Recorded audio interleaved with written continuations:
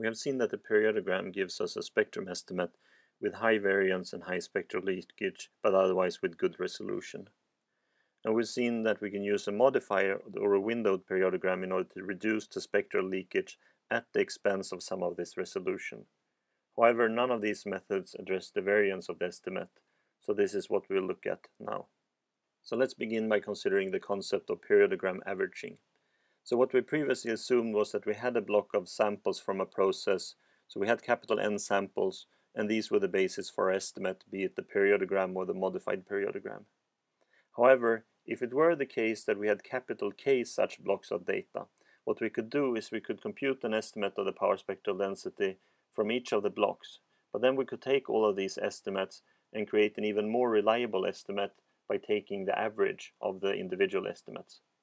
And one can show that if these blocks are independently drawn from the process, then the variance of this improved estimate will only be a factor of 1 over k times the variance of any individual estimate. And since the variance of the periodogram and also the modified periodogram is proportional to the squared power spectral density of the original process, the variance of this new and improved estimate would only be 1 over k times the original power spectral density squared. So in particular, if you choose the number of blocks very large or if you have access to a large number of data blocks, you could create an estimate with a variance which is very small. And this is also what was done in order for, to create the numerical examples where we showed the ensemble average of the periodogram estimate. So in that case, several periodogram estimates were computed and we took the average and plotted that. However, for a particular case, we of course don't have access to capital K blocks. So we're given capital N samples and we have to do as well as we can with these capital N samples. So this is the problem of the spectrum estimation. But we can still use the concept of periodogram averaging. So the way to use this concept is to take our N samples and you divide it into K blocks of length L, where L is smaller than N. And this gives rise to a method called Bartlett's method for estimating the power spectral density. So in Bartlett method, you would choose the indices K and L so that K times L is equal to the number of samples or uh, at least less than the number of samples. Then you would create K blocks of length L from the original data. Uh, you compute for each of these blocks a periodogram estimate and then you average these in order to get your final estimate of the power spectral density. And the idea here is that this estimate will have a lower variance than if you would have computed the periodogram for the entire data block, since that would have involved no averaging at all. However, Bartlett's method can reduce the variance by a factor of k, which is good. But there is a price to pay for this. So what do you think the price is if you apply Bartlett's method? So do you think the side lobe levels of the estimate will increase by a factor of k? Or do you think that the side lobe levels will increase by a factor of L? Or will you have a resolution which is decreased by a factor of k or a resolution which is decreased by a factor of L? Or don't you think there is any significant penalty to be paid by choosing Bartlett's method over the periodogram method?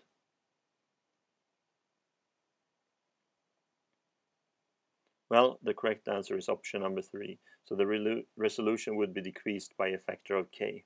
And this is because we are now using length L blocks. And uh, for the periodogram based on the entire data, we would have a length N block.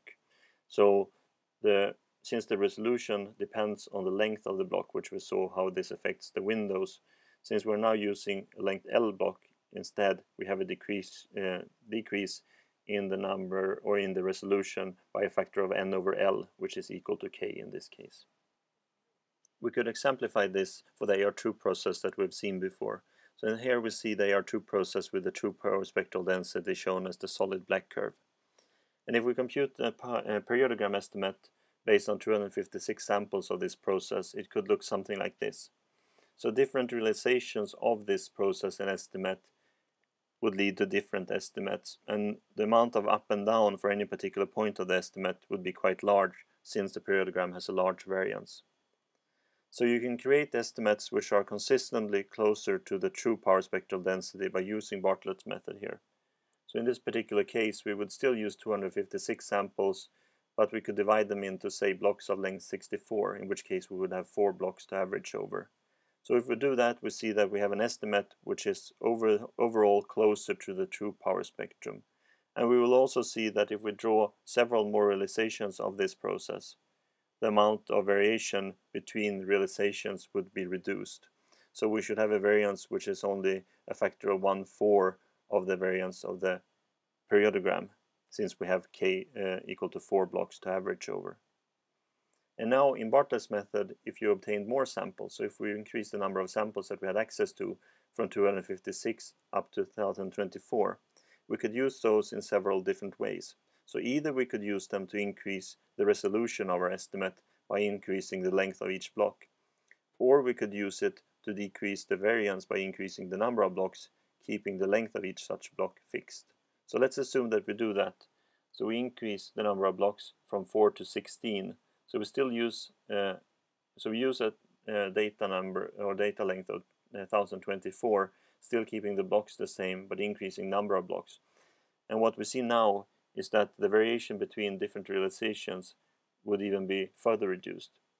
And in this particular case, it turns out that the deviation of the estimate from the true power spectral density has more to do with spectral leakage rather than variance of the estimator. And we can of course address that using modified periodograms instead of periodograms as we saw before. If we change the periodogram built into Bartlett's method by a modified periodogram, what would happen is that we would take each of these blocks of data that we cut out of our total set of data and we would multiply it with a smooth window before computing the Fourier transform and building the modified estimate. However, one can argue that this is an inefficient use of data because data close to the borders of the blocks would get multiplied by a small number. So in, in effect, we're not using as much of that data as we could. So if you choose to use a smooth window like this in Bartlett's method, what you could in fact do is to create an increased number of blocks and let them partially overlap and apply a window to each of such each of these data. So each of these blocks would not be as informative as it would be dependent or statistically dependent on the previous block since you have this overlap. But you would get an increased number of blocks by doing this partial overlap and that would overall lead to a reduced variance. And this is the basis of a method called Welch method. So in Welch method we would choose three parameters instead of two. So you would choose k, the number of blocks, you would choose L, the length of each block, and you would choose a factor d, which models the overlap between blocks.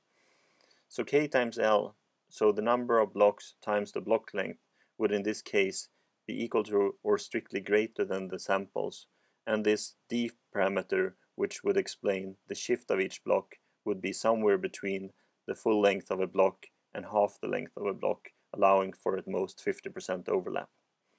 And then you would create these blocks by taking overlapped portions of the data and again create an average estimator by taking the average of these length L modified periodograms and you get an estimator which would look like this where u again is this factor based on the window in order to account for uh, an absolute value of the window. If we look at that numerically, returning to the last example with Bartlett's method applied to a data length of 1024 data samples divided into length 64 blocks, so we get 16 blocks. If we used Welch method with 50% overlap, we would instead of 16 blocks get a total of 31 blocks. And in this particular case, we applied the Hamming window to the data when we overlap the blocks. So this will have two effects. So first of all, the variance will be reduced from what we saw in Bartlett's method. Also, because we're using a window to the data, we will at the same time reduce the spectral leakage. So the deviation between the estimated power spectrum and the true power spectrum in these regions where we have low power spectral density would be reduced by the fact that we use a window that reduces the spectral leakage. And since we have a larger number of blocks, we see that the variance between estimates uh, or different realizations of the estimate would be reduced. So what we have done with Welch method is to create an estimator that's consistently more reliable for estimating the power spectral density at any particular frequency. And we can now compare that to the estimate produced by the periodogram using the same amount of data, so in this case 1024 samples. So here you see the Welch estimate in red and the periodogram estimate in blue. And what we can see is that the Welch estimate for any particular frequency, it will be consistently closer to the true power spectrum than the periodogram estimate will be. So the price that we pay for this is that we have a decreased resolution of the estimator. So at any particular point where the true power spectral density has these sharps peak, we wouldn't be able to capture them as well using this lower resolution method, where the lower resolution is caused by the fact that we apply a rather short window with a wide uh, main side lobe, causing the decrease in the 3 dB bandwidth of that window and a reduction in the resolution of the estimate. However, for this particular process, it's easy to argue that Welch method is superior to the periodogram in terms of accurately estimating the power spectral density. Still, once you have plotted the periodogram estimate like this, you can see that even though the periodogram estimate has a large variance, some of the points will be above the true power spectral density and some of the points will be below. So if you want to get an accurate estimate of the power spectral density at some frequency, what one can also do is to average the periodogram over frequencies within some narrow range around the frequency of interest. And this is the basis of a method called Blackman-Tukey's method. So what Blackman-Tukey's method would do is it would take the periodogram estimate and it would convolve it with a smoothing function performing this averaging property in the frequency domain. However, this is not how you need to implement it, so you can implement it in the time domain.